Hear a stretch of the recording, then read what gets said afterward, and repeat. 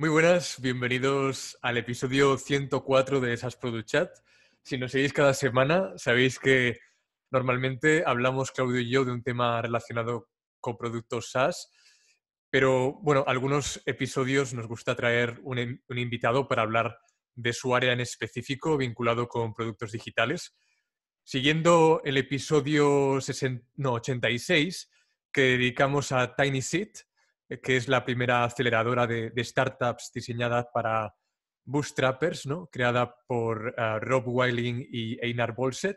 Hoy os traemos a Alex Martínez, que es líder de diseño de Founders Factory Africa, que es también una aceleradora, pero también incubadora, Venture Builder. ¿no? Hoy, hoy vamos a saber un poco en qué se enfocan, pero sobre todo están eh, dedicados al ecosistema africano de startups. Bueno, me da mucho gusto saludarte, Alex. Bienvenidas a Product Chat. Muchas gracias, Daniel. Muchas gracias de estar con vosotros hoy. Pues no, gracias a ti por, aceptar nuestra invitación y bueno, por compartir también un rato con nosotros. Oye, ¿te puedes presentar brevemente para los que no te conozcan y eh, decirnos de qué te encargas exactamente ahí en Founders Factory África? Sí, por supuesto. Eh, pues eh, yo soy Head de Design allí, soy líder de diseño y eh, llevo en Founders Factory África dos años aproximadamente. Founders Factory África está establecida desde el 2018 y mm, tenemos la base en Johannesburg y nos enfocamos a todo el mercado africano. Eh, pertenecemos a una familia global, eh, hay sedes en eh, UK, la franquicia inicial, que ya lleva más años, creo que 2012-14, y hay también New York, París, y lo que hacemos allí, pues como tú muy bien has dicho, nos dedicamos a incubar y acelerar empresas. O nos enfocamos en fintech y healthcare, o salud y Financial Services.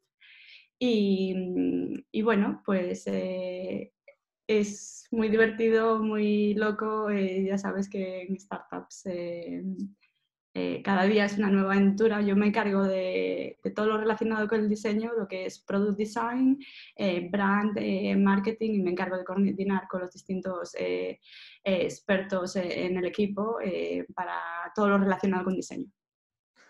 Muy interesante. No, vamos a entrar en el aspecto de diseño, pero antes también para dar un poco de contexto a los que nos estén escuchando e igual están familiarizados pues con Techstars o con Y Combinator o con otro tipo de aceleradoras que hay por el mundo. 500 Startups, por ejemplo, ahí en México es muy fuerte, ¿no? Pues hablemos un poco del modelo o digamos que un equipo se propone algo que vale la pena, ¿no? Y cumple las condiciones mínimas de, de mercado y entiendo que vosotros como, como incubadora, como venture builder, como un equipo operador, ¿no? Que no solamente invierte, sino que se dedica a ayudar en el proceso completo de, creación de productos, pues os fijáis no solamente en que tengan una buena idea, sino en esa capacidad que tiene el equipo de, de diseñar, de desarrollar y de ejecutar esa idea. Pero entiendo que, bueno, vosotros no sé en qué punto del proceso os, embarcáis a, acompañar a esa startup. ¿Nos puedes contar un poco el proceso de creación de, un producto? Por ejemplo, eh, cuando empezáis a ayudar a los fundadores, ¿suele ser en fase temprana o ya llegan ah, con un producto más o menos ya rodado? Vale, pues em, nos enfocaríamos por lo que estás comentando en la parte del acelerador el acelerador, eh, el proceso es el siguiente. Eh, hacemos eh, un recruiting, gente aplica a través de nuestra website, de referencias, contactos. trabajamos con dos corporates, tenemos Standard Bank y Netcare, cada una por cada una de las verticales, y trabajamos con ellos colaborando en, el proceso entero. Entonces, una vez que tenemos una lista de gente que aplica a startups, un, pipeline, eh, tenemos un comité interno en, FFA y decidimos si la empresa está en el momento eh, justo. Nos dedicamos a early stage. Eh, startups, entonces eh, también miramos, eh, aunque sean early stage, si tienen tracción en, el mercado. Entonces, si tienen eh, pues, usuarios, en qué estado está el producto, si, si ya me están mirando el product market fit. Entonces, hacemos un análisis como de, de, las empresas y seleccionamos unas cuantas. Una vez que tenemos seleccionadas un par de ellas, un número, em, vamos con, eh, si nos dedicamos al fintech con Standard Bank eh, o con eh, Healthcare con Netcare, y mm, entre las dos partes decidimos las que van a pasar a una serie de entrevistas, una serie de exámenes, exámenes bueno, revisión del producto y analizamos si son adecuadas para el programa, para unirse a nosotros. Los programas son de seis meses, entonces las startups vienen con nosotros y trabajan con nosotros seis meses. Hacemos un pre-kickoff, eh, unas, unas, semanas, casi un mes de actividades para, eh, para entender perfectamente el estado del producto. ¿Qué significa? Que cada uno de las áreas de expertos pues eh, analiza desde inversión, diseño, growth, cualquier parte, partnerships, tenemos eh, colaboradores, entonces cada uno de nosotros eh, trabajamos con, eh, con, el equipo, interrogamos, trabajamos juntos para saber el estado. Y una vez que, que, se ha decidido que esa startup o ese número de startups entra en el programa, pues somos muy hands-on, no solo coaching, no solo decirles lo que funciona, nos sentamos con ellos y trabajamos con ellos decidiendo si esta startup necesita más apoyo solo en producto o esta startup necesita más en partnerships, eh, una vez que hemos identificado el estado y lo que necesita mejorar en esos seis meses para pasar al siguiente nivel, pues nos enfocamos y nos ponemos a trabajar con ellos. Wow, es interesante. Y respecto al equipo, eh, ¿ponéis algunos límites? Es decir, ¿tiene que Ah, ser un equipo mínimo de, personas o tienen que tener unas habilidades eh, concretas o os fijáis más en que sean capaces de ejecutar la idea que se han propuesto? Em, pues hay un poco de todo, ¿no? A través del tiempo hemos ido cogiendo empresas eh, inicialmente que, eran, eh, que no estaban tan maduras y, hemos ido evolucionando un poco en, el journey ¿no? del startup y entonces ahora son un poquito más eh, maduras. Hay que tener en cuenta que el mercado africano es completamente distinto al mercado europeo, al Estados Unidos, al Western al resto del mundo. Entonces, eh, la experiencia que puedas tener en África de los niveles de em, eh, startups pueden ser diferentes al resto. Oye, Alex, perdona que te interrumpa ahí. Este, ¿qué, ¿Qué ha sido lo que más te ha sorprendido de lo que has visto? ¿no? Porque si este con el M-Pesa, ¿no? Para mí, ay, perdón, hija, espérame, espérame. Ahí tienes tu Perdón, ahí va a, haber, va a haber background noise, pero bueno, vengo de, un, de una cuarentena y, y, hay, que, hay que poner la atención. Eh, ¿Qué ha sido lo que más te ha impresionado, no? Porque el tema de, de, de, de, penetración móvil, pues es como ha penetrado Internet, ¿no? Y el consumo de cualquier servicio, ¿no? O sea, no hay el tema de tener una computadora, conexión landlines, eso es muy, eh, no voy a decir inexistente, pero digamos que es poco precario, ¿no? Entonces, ¿qué ha sido lo que más te ha impresionado de, de las startups o las ideas que han llegado a Founders Factory? Pues eh, lo que mm, yo creo que, que los, eh, los recursos son los que se necesitan en África. Hay un no potencial, existen una serie de, de, founders y gente que trabaja allí con unas ideas maravillosas. Lo que más me ha sorprendido igual es, eh, en mi experiencia hasta ahora, em, y es algo que también esto visto en otros eh, continentes, pero más eh, en África, la necesidad de explicar a las empresas, a las startups, el user research. Em, la gente, hemos, acabamos de hacer un workshop from future first to user first, eh, para entender que el research, el estar en directo validando con los usuarios eh, es muy importante. Eh, nos encontramos con fundadores y equipos geniales que vienen, pero que no completamente han validado las ideas con, con, los usuarios. Entonces, eso es lo que más me ha sorprendido, que, que tenemos que estar ahí trabajando con ellos para transmitir esta idea. Sí, justo, de hecho, el, bueno, los programas de aceleración que yo sigo normalmente repiten mucho esta idea de que ah, nunca paren de crear producto y hablar con usuarios durante lo que dura el programa de aceleración, ¿no? ¿Alguna técnica de investigación de usuarios en concreto que te haya servido especialmente? Eh, bueno, pues eh, como decía Claudio, y como son distintos mercados, hay cosas que funcionan mejor cuando em, eh, en África, por ejemplo, WhatsApp, Facebook, es mucho, la gente lo usa mucho más como en otros mercados. Entonces, igual si tienes que hacer run experiments o em, te tienes que dedicar a, los eh, channels o los, eh, los, medios que la gente usa, ¿no? Tienes que adaptarte al contexto.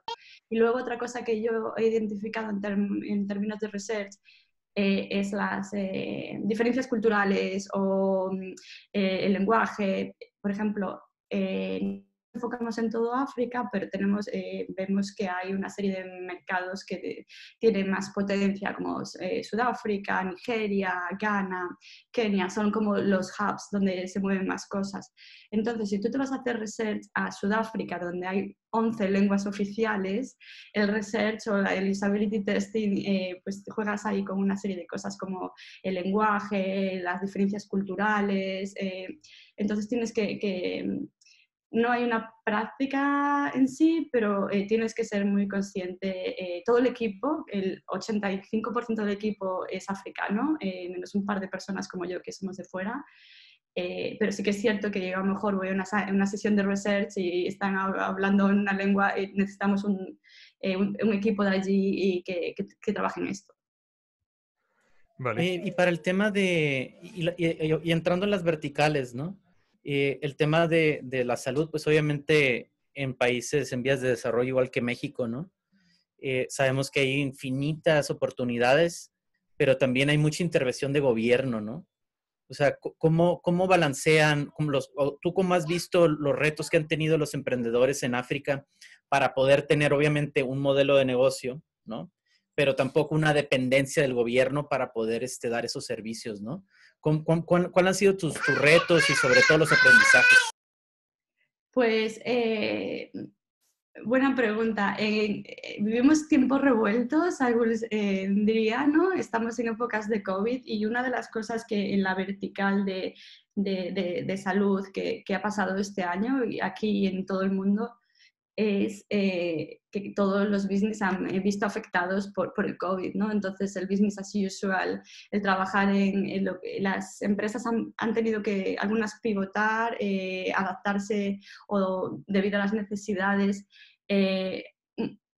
moverse un poco hacia apoyo del COVID y, por ejemplo, em, nuestros partners como Netcare, pues han tenido que poner todas sus energías y, fuerzas en, apoyar a la población, en apoyar eh, la sanidad. Entonces, eh, esto pues estamos viviendo em, momentos especiales, ¿no? Que, diría. Y Sí, al final, al final, es un Black Swan event, ¿no? O sea, nadie podía, ha podido prever que esto iba a tener un impacto y no es un impacto durante un tiempo determinado, ¿no? O sea, y creo que ya muchos de nosotros hemos aceptado que es indefinido, ¿no? Y tenemos que adaptarnos a esta, nueva realidad, ¿no?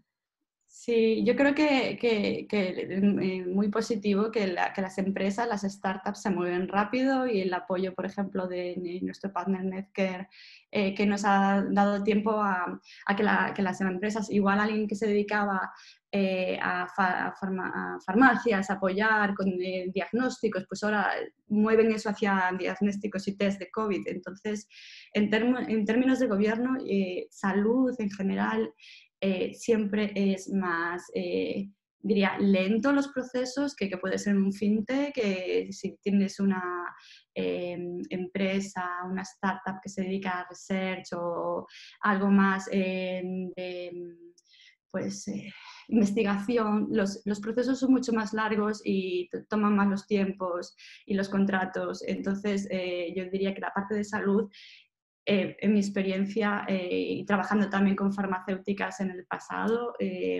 toma más tiempo. entonces todo, todo, todo es como un poco más elaborado, más complejo eh, y se mueve un pelín más lento que, que en otras verticales. Vale. Como has dicho antes, eh, o sea, Factory, Founders Factory Africa es relativamente joven, tiene eh, dos años más o menos.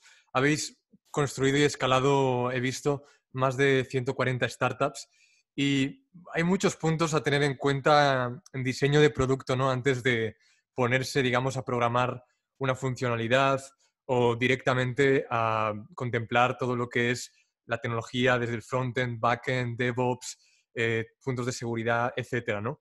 Entonces, yo quería entrar un poco en el proceso del diseño de producto y cómo tú eh, has dicho que sois hands-on, que os ponéis muy a trabajar con, con el founder, con los operadores de la startup. Entonces, me gustaría que nos pusieses como un caso práctico de una startup del portafolio de, Founders Factory y em, digo, hasta donde, hasta donde puedas contar, ¿no? Pero eh, de alguna manera que podamos entender cómo trabajáis desde el punto de vista del diseño de producto. Vale, perfecto. Pues eh, una pequeña corrección, eh, los ciento y pico startups es la visión para cinco años. Hemos en dos años trabajado con unas 20 eh, startups y creado dos, eh, tres startups hasta el momento. O sea, tenemos eh, incrementos anuales. Em, ¿Cómo trabajamos? Pues, em, a ver, te puedo dar, si quieres, un caso en el incubador y otro en el acelerador. En el incubador, por ejemplo, hemos trabajado con Triplo, un, un, founder que Triplo es una empresa de logística. Eh, eh, los, problemas que pueda haber en África son diferentes a los que pueda haber, por ejemplo, aquí en Europa, donde estoy yo ahora eh, en Londres. Y, Triplo es una empresa de logística, camiones y un founder que, que ha tenido empresas en el pasado, que trabaja en el sector y ha venido con la idea de, bueno, aquí la logística no funciona, es, es, muy lenta, los camiones necesitan para recorrer eh, 6 kilómetros por hora porque ahí va muy lento por las aduanas. Entonces lo que queremos hacer es eh, mejorar las eficiencias y, viene a nosotros eh, y trabajamos con él. Él no tiene un equipo, le ayudamos a contratar el equipo, le ayudo a decir, bueno, tú lo que necesitas es un eh, diseñador, te enseño lo, que se necesita en términos de product designer, o lo que tienes que buscar en un diseñador a ese nivel. Luego eh, creamos una brand inicial con, con ellos y creamos el producto inicial. Eh, las, eh, journey mapping, trabajamos con el fundador al principio diciendo, bueno, pues cuál será el, el journey que necesitas, este, este, esta empresa, este producto, qué necesitamos, cuáles son los problemas, em, cuáles son las assumptions, cuáles son las hipótesis. Entonces ya haces una serie de actividades con, con ellos. Eh, algunos fundadores eh, saben más, otros eh, menos de diseño y de product design. Entonces, en este caso, Víctor, una esponja absorbiendo conocimientos y le enseñamos y le damos un poco de coaching y trabajamos con él diseñando el producto, ¿no? Entonces, identificamos una serie de funcionalidades, intentamos hacer una serie de experimentos para validar cuáles sí, cuáles no, y nos dedicamos a crear un prototipo y lo construimos y lo usamos y lo usan los usuarios. Esto es desde crear el wireframe, eh, eh, definir cuáles son las features, validar, ir a entrevistar a, camioneros en, sus puestos de trabajo o todos los participantes, eh, montar un HTML o el backend de, del producto, cómo eh, traquear los camiones en ruta, cómo hacer tu plan para que pues, las entregas se hagan, contactar con eh, Standard Bank, uno de nuestros colaboradores, para que nos ayude a hacer esto a través de los distintos eh, países y cómo nos soportan, apoyan a nivel económico. O sea, todo, desde la integración para un tracking a, diseñar el brand. Sí, sí, de hecho he visto que incluso publicáis los puestos de trabajo en la, en la página que tenéis de empleo, ¿no? De Founders Factory Africa y ahí no solamente publicáis, por ejemplo, ahora hay un Product Lead, estáis contratando, creo, ¿no? Ahí en Founders, pero además también tenéis lo que estáis contratando por parte del portafolio y por parte del venture, ¿verdad? Sí, sí. Eh, contratamos para casa, eh, hay muchas formas de, unirse a Founders Factory Africa. Puedes trabajar con nosotros en el equipo, en Founders Factory Africa, eh, puedes hacer, aplicar directamente a, cualquiera de las startups del portfolio que están buscando. Las del acelerador a veces tienen algunas posiciones abiertas, que siempre las publicitamos en la página. Y luego el incubador, cuando se crea una startup nueva, también hacemos todo el equipo y, bueno, se puede aplicar a través de ellos. Entonces siempre hay movimiento. Muy bien. Pues no sé si Claudio querría añadir algo más, pero bueno, por mi lado yo creo que con esto ya podemos cerrar, Clau. ¿Te, apetece añadir algo más? Sí, bueno, nada más. Alex, algo que nos quieras compartir tú. Este, algo que, digo, África para muchos de nosotros es, es o va a ser un continente completamente desconocido, ¿no? Entonces, para aquellos, alguna recomendación para aquellos que estén haciendo productos SaaS y que se quieran enfocar en el mercado africano o estén pensando en, enfocarse en el mercado africano? Eh, sí, yo creo que ahora en tiempos en los que, estamos tiempos globales, donde todo el mundo, los productos eh, son globales, nosotros cuando trabajamos con África queremos escalarnos eh, a nivel internacional, primero en el continente y luego fuera. lo importante yo creo que es conocer el contexto. El contexto es eh, muy relevante, entonces eh, cualquiera que quiera venir desde fuera a colaborar con alguien en África, eh, hay que entender, como cualquier producto, cuáles son las necesidades del usuario. Yo creo que eso es fundamental, entender que las necesidades de un usuario en Nigeria pueden ser completamente distintas a un usuario en España. Entonces, yo creo que eso es muy importante.